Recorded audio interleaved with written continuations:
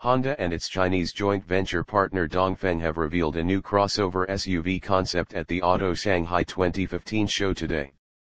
It's called the Concept D, and its design is surprisingly refreshing, especially when you compare it to the plain old CRV.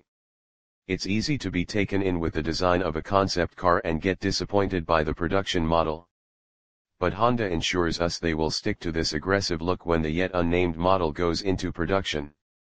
This D-segment SUV is going to be individually tailored to the Chinese consumers' needs.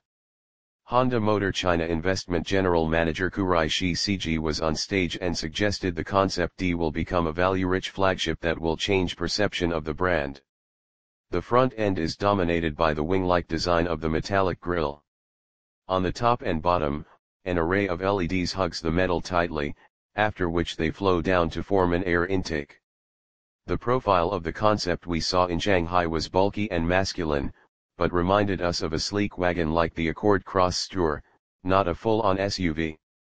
The mirrors are tiny, and the door handles fit flush into the body, but that's to be expected from a concept. Just like on the Vezel slash HRV, Honda has aggressively sloped the rear hatch and even decided to add a spoiler. The large air vents integrated into the bumper don't make any sense, but they look cool and give a clear indication that this is a plug-in car, the powertrain was not revealed. We're going to have to wait another few year before seeing how the story of this large crossover ends.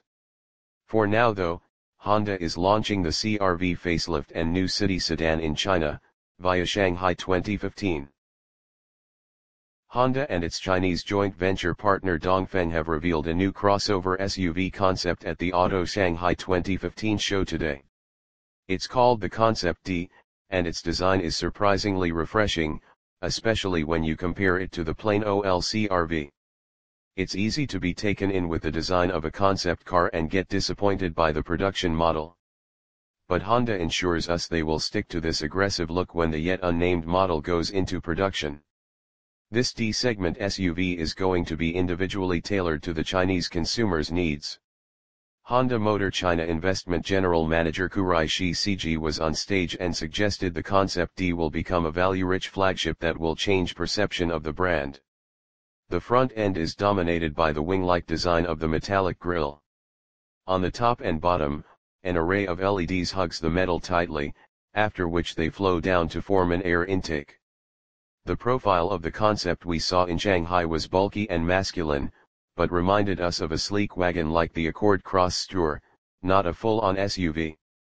The mirrors are tiny, and the door handles fit flush into the body, but that's to be expected from a concept.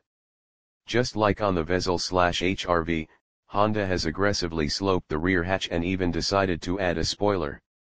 The large air vents integrated into the bumper don't make any sense, but they look cool and give a clear indication that this is a plug-in car, the powertrain was not revealed. We're going to have to wait another few year before seeing how the story of this large crossover ends.